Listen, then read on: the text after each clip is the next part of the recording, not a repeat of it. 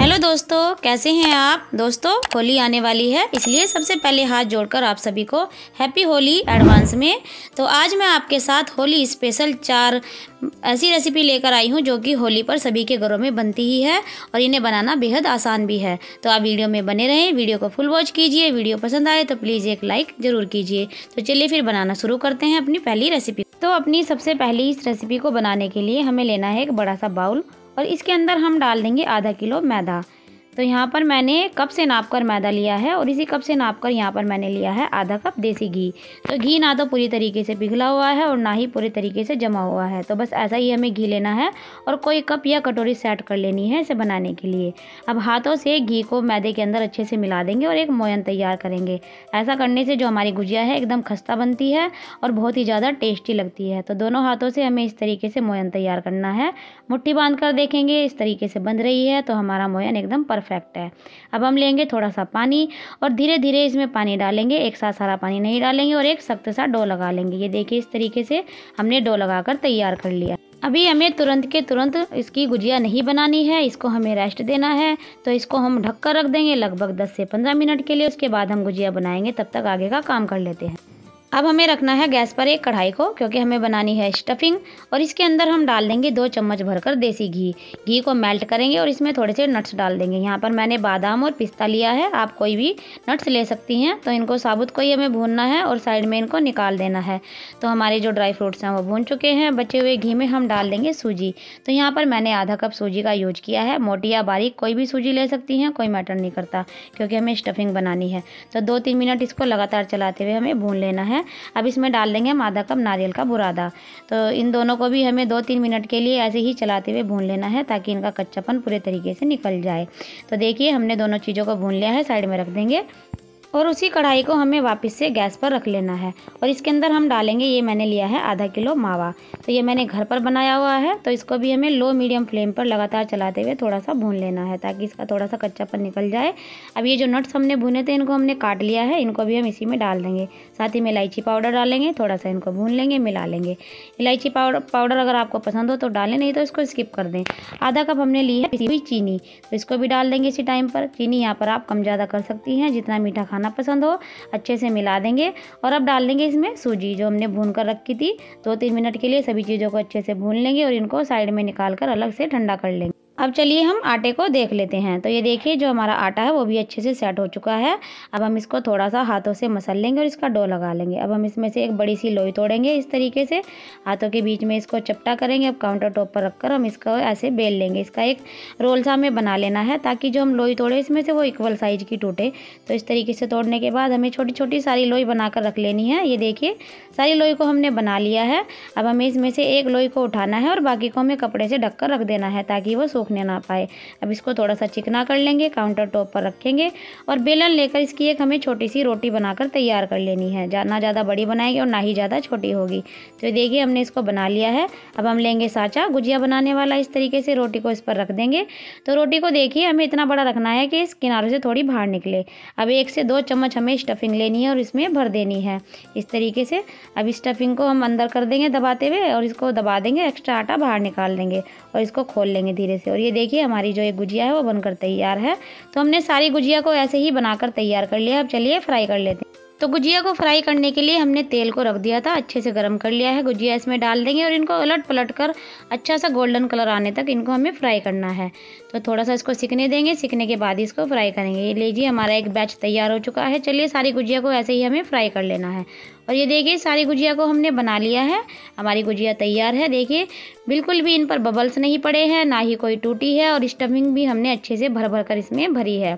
तो गुजिया बहुत ही परफेक्ट बनी है, खाने में बहुत ही ज़्यादा टेस्टी लगती है। तो आप मेरे तरीके से इस होली पर इन गुजिया को बनाइए और इनका मज़ा लीजिए। तो चलिए फिर अपनी अगली रेसिपी को हम शुरू करते हैं। अब होली का त्यौहार हो और घर में दही बल्ले ना बने, ऐसा तो हो ही नहीं सकता।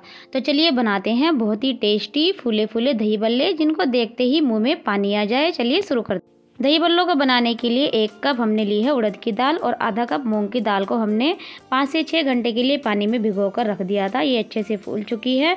अब एक मिक्सी का जार लेंगे और हमें पानी के साथ इनको पीसना नहीं है। पानी को हटाकर ही इन दालों को पीसना है। तो अलग अलग हम इन दालों को पीस कर तैयार करेंगे। तो चलिए पीस लेते हैं। तो ये लीजिए, दोनों ही दालों को हमने अलग अलग पीस कर तैयार कर लिया है। अब हम इसको अच्छे से मिला देंगे और हाथों की सहायता से इनको अच्छे से फेंट लेंगे। जितना बढ़िया तरीके से इनको फेंटेंगे, उतने ही बढ़िया हमारे हमारे जो भल्ले हैं वो बनकर तैयार होंगे। ये देखिए हमारा जो मिक्स है वो अच्छे से हमने फेंट लिया है, एकदम क्रीमी सा हो गया है। चेक करने के लिए थोड़ा सा पानी लेंगे कटोरी में और मिक्स को थोड़ा सा लेकर हम इसके अंदर डालेंगे। तो ये देखिए, जब हम इसको पानी में डालते हैं तो ये ऊपर तैरता है। इसका मतलब जो हमारा मिक्स है, एकदम बढ़िया बनकर तैयार हुआ है। तो अब चलिए हम इसमें कुछ मसालों को डाल लेते हैं। अब हम इसमें डालेंगे एक चम्मच भरकर अदरक और लहसुन का पेस्ट। इसी के साथ में तीन से चार हरी मिर्ची हमने काट ली है। आप चाहे तो इसमें किसमिस का भी यूज़ कर सकती हैं।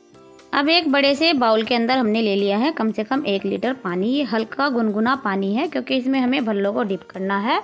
तो इसी में हम डाल देंगे थोड़ा सा हींग ताकि इसमें अच्छा सा टेस्ट आ जाए और यहीं पर हम डालेंगे इसमें थोड़ा सा नमक। हमने भल्लों के पेस्ट में नमक नहीं डाला है, इसमें डाला है साइड में रख देंगे। भल्लों को फ्राई करने के लिए हमने तेल को चढ़ा दिया है गैस पर। तो इसको हमें ज़्यादा तेज़ गर्म नहीं करना है, हल्का गर्म ही करेंगे। और इस तरीके से थोड़ा थोड़ा मिक्स लेकर हम तेल के अंदर डाल देंगे। और दूसरे हाथ से, चमचे से हम तेल को इनके ऊपर डालते रहेंगे ताकि अच्छे से फ्लफ़ी और फूले फूले बने। और ये देखिए, हमने इस तरीके से इनको डाल दिया है और इनको हम हल्का सा ही फ्राई करेंगे क्योंकि हमें इनको दो बार फ्राई करना है। तो हमने इसको फ्राई कर लिया है। अब हम दोबारा से इनको तेल में डालकर एक बार और इनको फ्राई कर लेंगे। ये देखिए, हमारे जो भल्ले हैं वो बनकर तैयार हो चुके हैं, इनको हम निकाल लेते हैं। तो अब इनको निकालने के बाद हम डायरेक्ट इस पानी के अंदर डाल देंगे, जो हमने हल्का गुनगुना पानी लिया था, और इनको 10 से 15 मिनट के लिए छोड़ देंगे। अब हम देंगे दही दही को हम छलनी में इस तरीके से छान लेंगे। इसी टाइम पर इसमें डाल देंगे दो चम्मच पिसी हुई चीनी, ताकि ये थोड़ी सी मीठी हो जाए, क्योंकि भल्लों पर तो मीठी जो दही होती है, वही अच्छी लगती है, अच्छे से मिला देंगे। और इधर देखिए, जो हमारे भल्ले हैं, वो भी फूल कर तैयार हो चुके हैं। अब हम इनको प्लेट में रख लेते हैं। इनको हम तैयार कर लेते हैं। तो हम सबसे पहले इन पर दही डाल देंगे, जो हमने फेंट कर रखी थी। अब इस पर डालेंगे हम लाल वाली चटनी। ये हमने घर में घर में बना रखी है। तो इसका लिंक मैं डाल दूँगी डिस्क्रिप्सन में। इसी के साथ साथ ग्रीन वाली चटनी भी डाल देंगे। ये भी मैंने घर पर बनाई है। इसका भी लिंक मैं डिस्क्रिप्सन में डाल दूँगी। अब इसके साथ साथ हम डालेंगे थोड़ा सा भुने हुए जीरे का पाउडर। और इसी के साथ में थोड़ी सी काली मिर्च डाल देंगे। इससे बहुत ही टेस्टी लगते हैं खाने में। तो ये लीजिए, इस तरीके से हमारी जो दही बल्ले की चाट है, वो बिल्कुल तैयार है। देखने में जितनी सुंदर लग रही है, खाने में उससे कहीं ज़्यादा टेस्टी है। जैसे हम मार्केट में खाते हैं ना, उससे भी कहीं ज़्यादा टेस्टी आपको इनका टेस्ट लगने वाला तो आप इनको बनाइए और मुझे ज़रूर बताइए, आपको मेरी रेसिपी कैसी लगी। चलिए अपनी अगली रेसिपी शुरू करते हैं। अगली रेसिपी में हम बनाएँगे टेस्टी क्रिस्पी और खस्ता शक्करपारे जिनको हम बनाएँगे सूजी से। बहुत ही टेस्टी लगते हैं, बड़ी आसानी से बन जाते हैं। तो फिर वीडियो को फुल वॉच कीजिए। चलिए बनाना शुरू करते हैं। होली स्पेशल सूजी के शक्करपारे तो इन्हें बनाने के लिए हम लेंगे एक बड़ा सा बाउल और इसके अंदर हम डाल देंगे एक कटोरी सूजी। सूजी यहाँ पे मैंने बारीक यूज़ की है। आप इस रेसिपी को बनाने के लिए कोई कप या कटोरी ज़रूर से ऐड कर लें।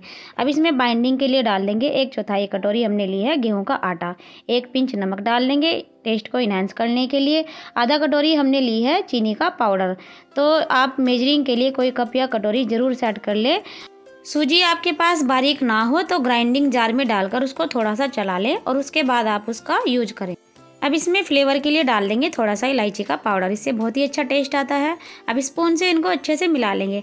अब यहाँ पर मैंने लिया है आधा कटोरी देसी घी। घी को मैंने मेल्ट कर कर लिया है और सारा घी हमें इसमें एक साथ नहीं डालेंगे। पहले हम इसमें थोड़ा घी डालेंगे और ये थोड़ा हमने बचा लिया है। अच्छे से इसको मिलाएँगे और एक मोयन देंगे। तो ऐसा करने से जब हम इसको बनाते हैं तो बहुत ही खस्ता हमारे जो शक्कर पारे हैं वो बनकर तैयार होते हैं। तो हाथों से अच्छे से मिलाते हुए हमें इसमें मोयन देना है। मुट्ठी बाँध कर देखेंगे, हल्के हाथों से ये देखिए मुट्ठी बंध रही है। और इतना घी हमारा पच गया है। अब यहाँ पर हमने लिया है हल्का गर्म दूध। तो यहाँ पर मैंने आधा कटोरी दूध ली है, लेकिन सारा दूध नहीं डालेंगे। धीरे धीरे कर कर इसमें दूध को डालेंगे और इसका हमें मीडियम सॉफ्ट डो लगाकर तैयार करना है। हार्ड डो नहीं लगाएँगे क्योंकि सूजी है, फूलती है। तो डो हमने लगा लिया है, अभी हम इसको ढक देंगे और ढककर इसको हमें रेस्ट देना है। और ये देखिए, दस मिनट बाद हम डो को देख लेते हैं। इसको हाथों से थोड़ा मसल लेंगे, दो पार्ट कर लेंगे, एक पार्ट को हम इस तरीके से मसल कर काउंटर टॉप पर रख लेंगे। अब हमें लेना है बेलन और बेलन से इसको हमें हल्के हाथों से बेल लेना है। इसकी एक मीडियम थिकनेस की हमें रोटी बेल कर तैयार करनी है। किनारे फट जाए तो कोई टेंशन वाली बात नहीं है, क्योंकि हमें इसको काटना है और काट कर इसको हम साइड में निकाल देंगे। तो हम चाकू ले लेंगे, चाकू से हम इसको काट कर इसका एक चकोर पीस तैयार कर लेंगे इस तरीके से। अब हम चाकू से ही या फिर लेंगे पिज़्ज़ा कटर इस तरीके से। इसमें से हम पतली पतली ये पट्टी सी काट लेनी है, क्योंकि हमें इसमें से निकालने हैं शक्कर पारे। आप चाकू से भी ये काम कर सकती हैं। अब हम इस तरीके से साइड में से इसको काट लेंगे, क्योंकि हम बना रहे हैं डायमंड शेप के शक्कर पारे। आप चाहे तो चकोर भी बना सकती हैं। तो सारों को हम इसी तरीके से बनाकर तैयार कर लेते हैं। तो देखिए, सभी को हमने बना लिया है। कुछ हमने चकोर बनाए हैं, कुछ डायमंड शेप के बनाकर तैयार किए हैं। चलिए, अब इनको हम फ्राई कर लेते हैं। फ्राई करने के लिए हमने तेल को चढ़ा दिया है गैस पर। तेल को हमें ज़्यादा गर्म नहीं करना है। हल्का गर्म हो जाएगा तभी हम इस तरीके से स्पैचुला में लेकर इसमें शक्कर पारों को डाल देंगे। अभी इनको छेड़ेंगे नहीं धीरे धीरे इनको सीखने देंगे। उसी के बाद हम इनको पलटेंगे, क्योंकि अगर तुरंत पलटेंगे तो ये टूट जाएँगे। तो ये देखिए, इस तरीके से हमने इनको पलट पलट कर अच्छे से सेक लिया है। सारे शक्कर पारे हमारे तैयार हो चुके हैं। बहुत ही आसान है बनाने में। आपको पसंद आए हो तो प्लीज़ वीडियो को लाइक ज़रूर कीजिए। तो चलिए अगली रेसिपी शुरू करते हैं। चलिए अब बनाते हैं सभी की फेवरेट रसीली और रस से भरी जलेबी। वो भी इंस्टेंट बिना खमीर उठाए। तो चलिए शुरू करते हैं। तो सबसे पहले हम चाशनी बना लेते हैं। एक गहरा बर्तन गैस पर रख देंगे। इसमें डाल देंगे दो कप भरकर चीनी। तो गहरा बर्तन ही लिए चाशनी बनाने के लिए। आप भी दो कप इसमें चीनी डाल देंगे। इसी के साथ में हम डाल देंगे इसमें एक कप भरकर पानी। कोई कपिया कटोरी सेट कर लें। थोड़ा सा इलायची का पाउडर डाल देंगे फ्लेवर के लिए। थोड़ा सा हम डाल देंगे इसमें फ़ूड कलर। ये ऑप्शनल है। आप चाहे तो केसर के धागे भी डाल सकती हैं। अब चीनी घुलने तक हमें इसको अच्छे से पकाना है। थोड़ा सा हम इसमें डाल देंगे नींबू का रस। अब नींबू का रस डालने से खट्टी नहीं होगी। तो जिसमें क्रिस्टलाइजेशन होता है ना, ठंडी होने के बाद चीनी जो होती है, चाशनी वो जम जाती है। तो नींबू डालने से वो प्रॉब्लम नहीं आए। और दो मिनट पकाने के बाद ये देखिए, जो हमारी चाशनी है वो बनकर तैयार हो चुकी है। हमें एक तार या दो तार वाली कोई चाशनी नहीं चाहिए। हल्की सी चिपचिपी हो जाए, बस इतनी ही हमें चाशनी को पकाना है। इसको साइड में रख देंगे। अब हम जलेबी का बैटर बना लेते हैं, जिसके लिए हम एक कप मैदा लेंगे। इसको थोड़ा सा छान लेंगे। एक चौथाई कप डाल लेंगे दही। दही यहाँ पर हमें खट्टा डालने हैं, क्योंकि दही यहाँ पर खमीर का काम करेगी और इंस्टेंट हमारी जलेबी बनाएगी। एक चम्मच भरकर हम डाल देंगे इसमें बेकिंग पाउडर ताकि हमारी जो जलेबी है वो फ्लफ़ी और फूली फूली अच्छे से मिलाने के बाद अब हम इसमें थोड़ा थोड़ा कर कर पानी डालेंगे। ज़्यादा एक साथ नहीं डालेंगे थोड़ा थोड़ा कर कर ही डालेंगे, अच्छे से इसको मिलाते जाएँगे। और लम्स ख़त्म करते हुए हमें इसका बैटर तैयार करना है तो अच्छे से इसको मिला लेंगे। और ये देखिए, हमने इसको बना लिया है, आप इसकी कंसिस्टेंसी देखिए, जब मैं इसको गिरा रही हूँ, बिल्कुल रिबन वाली कंसिस्टेंसी है। इसी तरीके का हमें इसका बैटर चाहिए, ज़्यादा पतला नहीं बनाएँगे, थोड़ा सा इसमें फ़ूड कलर डाल देंगे। अच्छे से इसको मिला लेंगे ताकि जो हमारी जलेबी है उस पर बहुत ही बढ़िया कलर आए तो हमारा मिक्स तैयार हो चुका है। अब हम इस तरीके की एक पोलोथीन ले लेंगे। ये घर में जो सामान आता है ना, चीनी वगैरह या दाल वगैरह आती है, वही वाली हमने ले ली है। ग्लास पर सेट कर लेंगे। अब दो स्पैचुला भरकर हम इसमें बैटर को डाल देंगे। ज़्यादा नहीं डालेंगे, नहीं तो जब हम जलेबी बनाएँगे तो ये बाहर निकलेगा। अब इसको किनारे पकड़कर हम इसको पीछे की तरफ़ से बंद कर देंगे ताकि बैटर बाहर ना निकले। अब गैस पर हमने घी को चढ़ा दिया है, हल्का गर्म करेंगे। ज़्यादा नहीं चढ़ाना है, चाहे आप घी चढ़ाएँ या तेल चढ़ाएँ, थोड़ा ही हमें डालना है। अब इस तरीके से हल्के हाथों से गोल गोल घुमाते हुए हमें जलेबी को बना लेना है। छोटा या बड़ा, जैसा आप बनाना चाहती हैं, वैसा ही इनको बनाकर तैयार कर सकती हैं। बहुत ही आसानी से बन जाती है और बनाने में बहुत ही ज़्यादा मज़ा आता है। अब एक तरफ़ से सीखने के बाद हम इसको चिमटे से पलट देंगे और हल्का सा गोल्डन कलर आने देंगे इस तरीके से। ये देखिए जो हमारी जलेबी है, बहुत ही क्रिस्पी और कुरकुरी बनकर तैयार हो रही है। अब इनको हम डायरेक्ट ही चाशनी के अंदर डाल देंगे। ज़्यादा देर डिप नहीं रहने देंगे। केवल आधा मिनट ही हमें इनको चाशनी में भिगोना है और इनको चाशनी से हमें निकाल लेना है। तो चलिए, आधा मिनट हो चुका है। अब हम इनको चाशनी से निकाल लेते हैं। ये देखिए, हमारी जो जलेबी है, एकदम क्रिस्पी कुरकुरी और रस से भरी हुई बनी हुई है।